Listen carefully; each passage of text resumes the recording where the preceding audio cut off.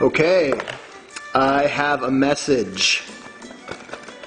I have a message for Mabu 888, Zendelheim, Edgy 1333, The Riff Shaman, 1010 Bree, Caddyman V8, Super Sajin Yet, Rose Winter PDX, Cheeto 600, The Good Locust, and for Axel, you know who you are. Um, Bearheart, send me an email with your contact information if if you want to, uh, phone numbers, and where in the country you are. I have decided to uh, take somebody up on an offer to go and possibly root out and investigate. Um, well, I'm not going to Dulce, but it's going to be somewhat similar. I am going to go and do a uh, possible documentary with someone who's very interested in the work that I do and um, perhaps do some rituals. And I also have a standing invitation to go into uh, deep Northern California and meet with a group that is most certainly uh, Illuminati based. And I'm going to take them up on that. Uh, I'm going to go face a few of them, and um, the it's a tentative discussion. I'm not sure about what, um, but here's my chance to uh, stare stare evil in the face, and I'm and, and I'm going to take it. Is it a little dangerous? Yeah, it is, and um, I'm a little a little nervous about it, but I'm going to do it anyways. My spirits are really telling me to. Uh, to take the take and seize this opportunity, so I'm going to. I know there's going to be a lot of people who say don't do it, but I'm going to do it. I'm going to be gone for about a week, week and a half. So if I'm gone two weeks, don't panic. um, but regardless of, of, of what happens, I just kind of want to um, share a little bit more of myself and just thank everyone who has gotten uh, a lot out of this channel, which which is my full intent, is that people uh, get something out of it and use it. There's still a lot of things I want to do. Um, we'll just, you know, we'll see what's available when it's available. You know what I mean? Um, whew. So, I, in any of you guys who know how to build and maintain a website, that would be great.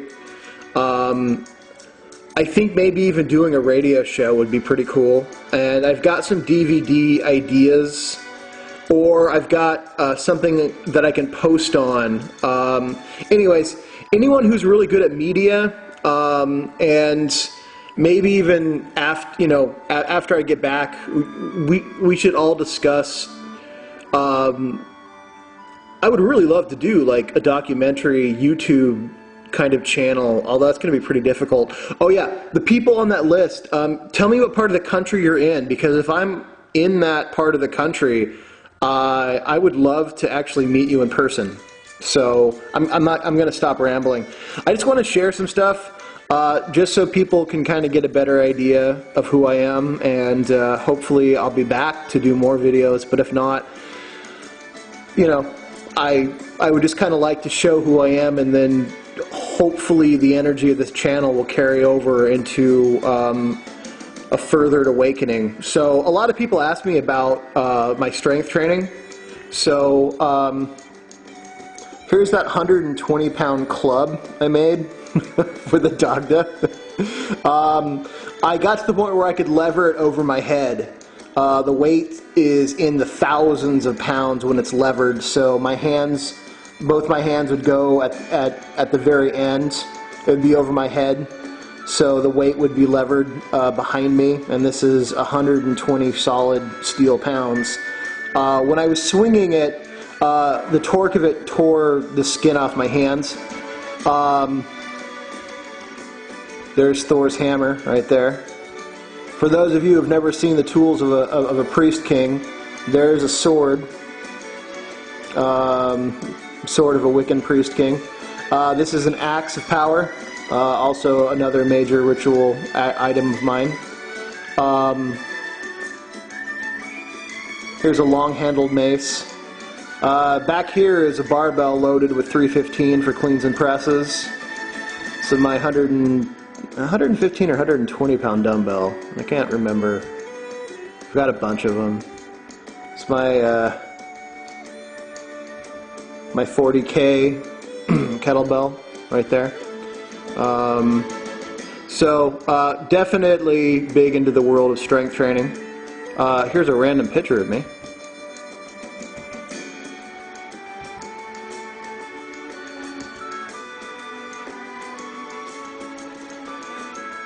There we go. Random picture of me. Not really sure where that was taken. Well, I mean, I took it. I don't know where I took it. Uh, what else do I got in here? Oh, yeah. Here's me with the panda hat on. There's the panda hat. There's me with the panda hat. So I'm here. Now I'm hiding.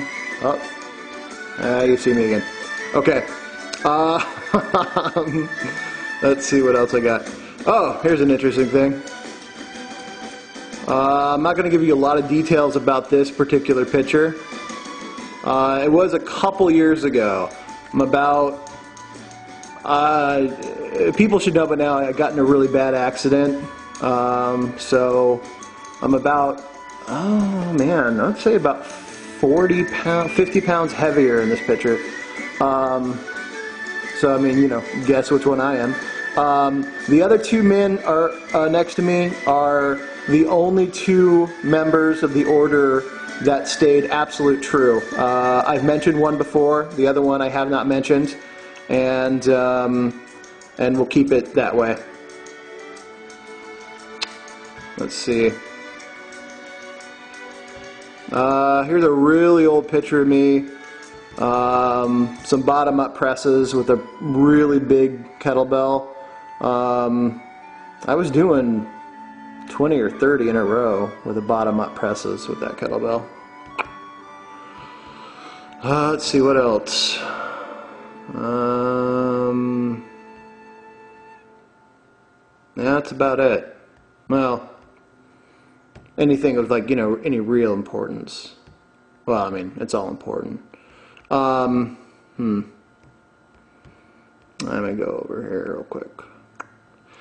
Anyways, um, really wasn't, you know, I just wanted to show some potential pictures of who I am. Um, just in case anything happens. I would be, uh, you know, whatever.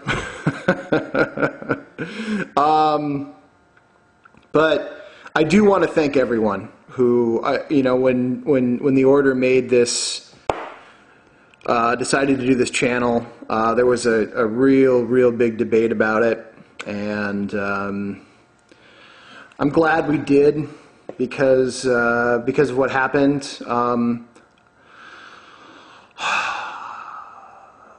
it just, I'm glad that we got a lot of people who are being helped and a lot of people who were able to break free out of a lot of uh, other strange uh, traditions. And um, for everyone out there who has been interested in Hermetic ceremonial magic, as long as you understand that the original goal is to just firmly connect yourself with Prime Creator and that you stand as God in the circle or Goddess in the circle, and to throw off the shackles of, uh, of fear and slavery and torment and that what you're doing is you're connecting with your higher genius, that you're connecting with your higher self, and that you are using the tasks and talents of these spirits to aid you into freeing humanity and bettering yourself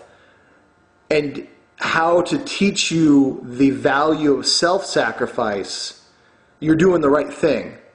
Any other tradition that tells you that humans are dirty or worthless, that your sexuality is wrong, that you're a sinner, uh, blah, blah, blah, it's poisoned. It's absolutely poisoned. And anyone who uses enlightenment against you is, is, is very much on the side of the kulap. Very much on the side of the kulap. And, you know, stepping up into your higher self is hard. It's not easy. It won't happen overnight. It, it's, it's a daily thing. And it's true that there's, there's a story in the Bible about Jesus in the desert for, and he's tempted by the devil. That story actually comes from the Kabbalah first, not the Bible.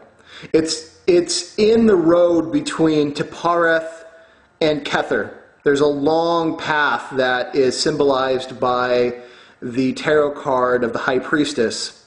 In the old days, this path was called the path of the camel, or the descent into the wasteland or entrance into desolation. And it's the longest path on all the Kabbalah. It is after you've achieved your higher self and you're looking towards full union and becoming a Ipsissimus, becoming your superior self, where you're standing in the realm of the prime creator and all the great ones. It's when you are immersed in that light that you cast the biggest shadow. And it is only when you've achieved your higher self that the road really gets tough. So Jesus was sometimes called the water of life. The camel was said to have drank all the water it's needed. And so you walk on that path as yourself. You need nothing else. But it's the hardest path to walk because it's, it's when that you are tempted the most. Because when you realize your highest potential, that's when you realize your potential to harm people the most.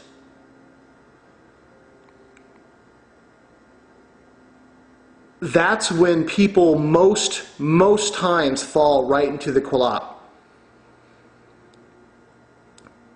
I just, you know, let that be a lesson.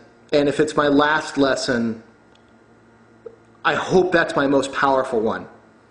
That all you really got is you. And all you really need is, is all that's inside you and it's your consent to if you're a slave or if you're a king or a queen of your own kingdom, and what kind of king and queen you are. If you are a king and queen who rules through fear and manipulation, then all you are is one great source of vile and evil, and you might as well be covered in scales. But if you are a true champion, a true king, a true queen, you treat everyone the same, like they were kings, like they were queens. And you enable and you inspire others to achieve their highest potential. That's it. That's all. It's so easy. It doesn't, you know, Step away from all the spirits. Step away from everything else. If all you do is live your life treating everyone else like kings and queens and helping them through, through, through, through inspiration and kind words and, and, and, and, and great acts, and, and that you are virtuous not for the sake of being virtuous, but because you truly are, then you have achieved the honor of attaining your higher self. And it's, and it's in that time that you will be tempted the hardest. And just stick to what you know. Like the hermit card with the desert, with, with the hermit walking through the desert with his lantern, you're going to need that light to see your way. I wish you all well, and I hope I do another video here in, about a week and a half, two weeks.